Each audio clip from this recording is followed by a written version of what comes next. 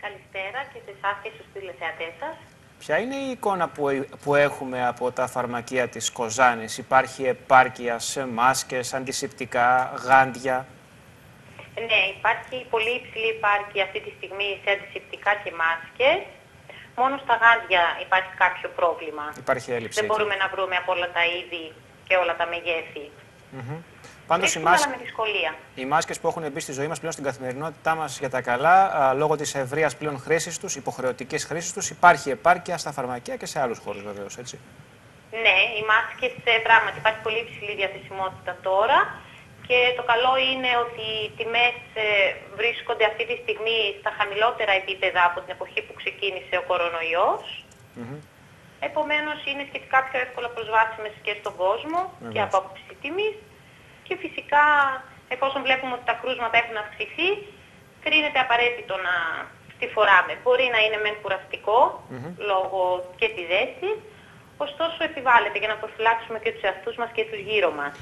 Υ- Υπάρχει ζήτηση, έρχονται πολίτες, ζητούν μάσκες και αν θέλετε, τι σας ρωτούν, πώς τη χρησιμοποιούμε, ποια- αν το υλικό ε, είναι ικανό να τους προστατεύσει, ποιες είναι οι ερωτήσεις που κάνουν; Ναι. Υπάρχει ζήτηση υψηλή. Ε, ο κόσμος είναι βέβαια ενημερωμένος και από την ε, τηλεόραση πια. Ωστόσο θα μας ρωτήσουν πάλι ναι, αν ε, θα προτιμήσουμε τη χειρουργική μάσκα, ε, σε πόσο βαθμό καλύπτει η φασμάτινη μάσκα, σε ποιο βαθμό καλύπτει η προσωπίδα. Και βα- το βασικό είναι ότι η χειρουργική μάσκα είναι και το πιο οικονομικό μέσο και είναι και το πιο ε, καλύπτει καλύτερα από όλα τα, από αυτά που σας ανέφερα. Τι πρέπει να γνωρίζουν, αν και λίγο πολύ, α, εδώ και μέρες πρέπει, έπρεπε να είμαστε ενημερωμένοι, τι πρέπει να γνωρίζουν οι πολίτες, ε, ε, πώς γίνεται σωστά η χρήση της μάσκας, ώστε αντί για, κακό, να μην, αντί για καλό να μην πα- κάνουμε κακό στον εαυτό μας; Ναι.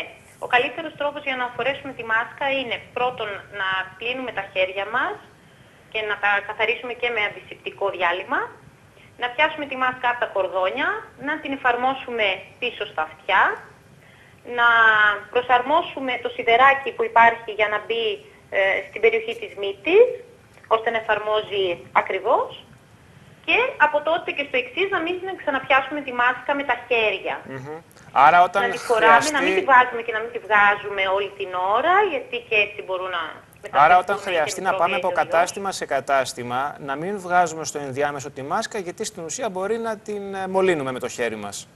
Ακριβώς. Αυτό θα ήταν το καλύτερο. Εκτός αν χρειαστεί ας πούμε να την βγάλουμε, μπορούμε να την πιάσουμε πολύ προσεκτικά από τα κορδόνια, Μμμ.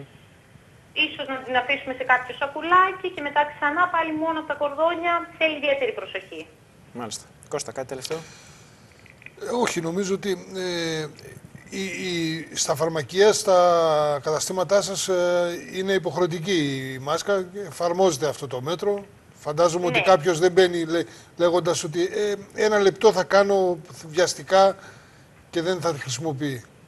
Ο περισσότερος κόσμος φοράει. Κάποιοι περιμένουν έξω στην είσοδο και λένε δεν έχω μάσκα, μπορεί να με εξυπηρετήσει στην πόρτα.